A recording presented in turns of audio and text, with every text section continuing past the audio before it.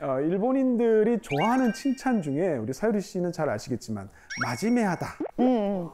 어? 마지막이다. 너 눈빛 보니까 오늘 한 대 맞을 만하다. 너 눈 똑바로 떠. 아, 맞을만하다. 아, 맞을만하다. 아. 그래서 일본 사람들은 어, 당신 참 마지메하다 이 칭찬 정말 좋아합니다. 이게 뭐냐면 근면하다, 성실하다 이런 칭찬이거든요. 아. 조사를 보시면 일본인의 이미지를 어떻게 생각하냐라고 했을 때 근면하다 응답한 비율이 50%에서 66% 1입니다. 1이 40년 동안 이렇게 생각을 예, 해왔고요. 다른 외국인들이 생각했을 때 제일 먼저 떠오르는 일본인 이미지도 근면하다가 예, 제일 높습니다. 아. 그러면 이제 여기 계신 분들은 일본인들이 가지고 있는 이 성실 근면하다는 이미지 어떻게 생각하시나요? 저 같은 경우는 직접 이제 와이프한테 느꼈던 부분인데요. 와이프가 이제 결혼하기 전까지 대기업을 다녔었거든요. 일본의 대기업을 다녔었는데 예, 야근을 11시 그래 전철 끊길 때까지 하고 그리고 아침 7시에 다시 출근하고 어, 정말 일주일을 하루도 안 쉬고 일했던 것 같은 느낌? 일본은 근무 시간 외 수당을 잘 주는 나라인가요? 아, 예, 잘 줘요.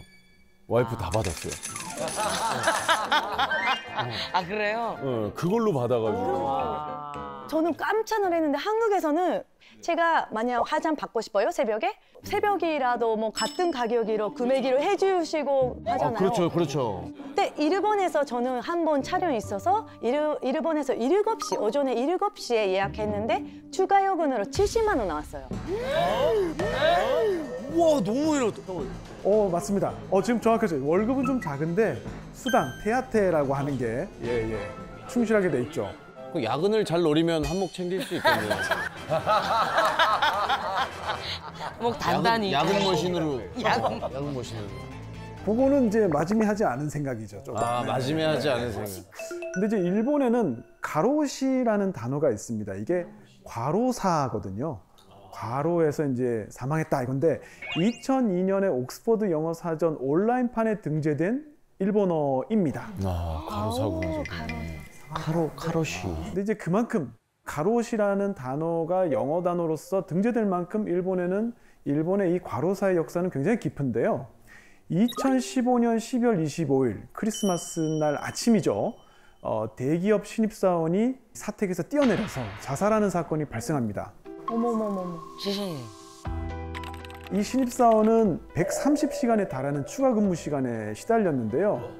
이 사건을 계기로 일본에서는 이 과로 자살이라는 게 사회적 이슈가 되면서 이 우리가 이제 근면 성실을 강조하는 이런 사회 분위기 이거 좀 바뀌어야 되지 않나 이런 분위기가 좀 형성이 됐습니다. 그래서 이 기업은 이제 그 당시 1위를 하던 광고 회사였는데 이 사건 이후에 밤 10시부터 새벽 5시까지 본사, 전국지사 전부 이제 불 끄는 캠페인 그러니까 빨리 퇴근하라고 이런 캠페인을 했고요. 그 다음에 CEO도 책임을 지고 어, 사임을 했습니다. 아, 뭐 이런 사건이 있었습니다만 일본 사람들은 여전히 아, 근면한 모습을 보여주는 사람들이 많고요. 실제로 이제 제가 일본에 공부하고 일하고 했을 때 동료들을 보면 아, 이 친구들 정말로 근면하다 이런 생각을 한 적이 많았습니다. 그런데 이 일본 사람들의 근면성이 처음부터 그랬던 건 아닙니다. 그 일본도 1870년대, 80년대 외국인들이 많이 와서 일본을 처음 보고 어 일본 사람들이 이렇구나라고 이제 글을 많이 남기거든요.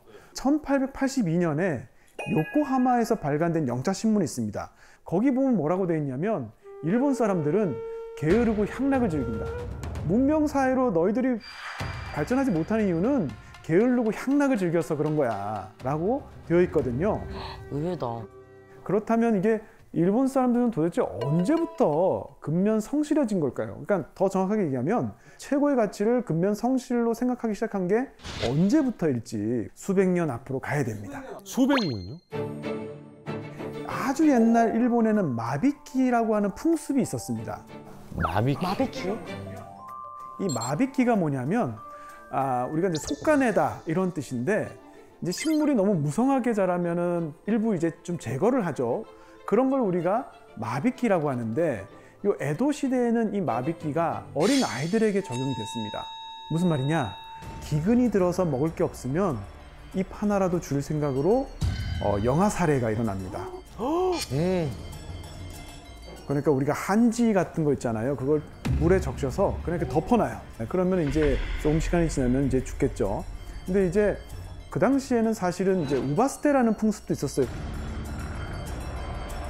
지금 들으면은 뭐 인권도 없었나 그 시대는 뭐 이렇게 생각도 들고 말도 안 되는 것 같지만은 이런 식으로 마비끼나 우바스테 같은 이런 풍습은 사실은 인구 압력을 견디기 위해 에, 생겨난 풍습이죠. 인구가 늘어나면 식량이 부족해지니까 그걸 조절하기 위해서 어, 생긴 풍습인데 이 마비끼가 사라지려면 생산성이 크게 늘어야 되겠죠. 그래서 어, 식량이 많이 생산돼서 어, 인구를 부양할 수 있어야 되는데 그게 언제부터 가능해졌냐면 17세기부터 어, 바뀌기 시작합니다. 17세기에 보면 어, 경지 면적하고 인구가 폭발적으로 증가를 합니다. 그러면서 농사 지을 수 있는 땅이 늘어나면서요. 인구도 1,500만 명에서 3천만 명으로 두 배 가까이 늘어요.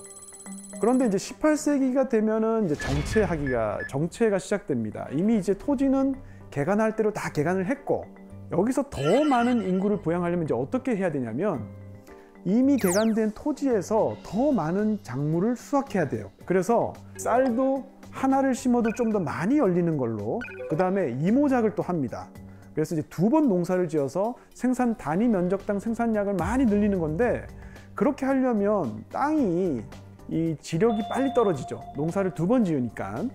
그래서 이때 쉽게 얘기하면 이제 영양분이 양분이 충분한 금비라고 비료를 사서 써야 돼요.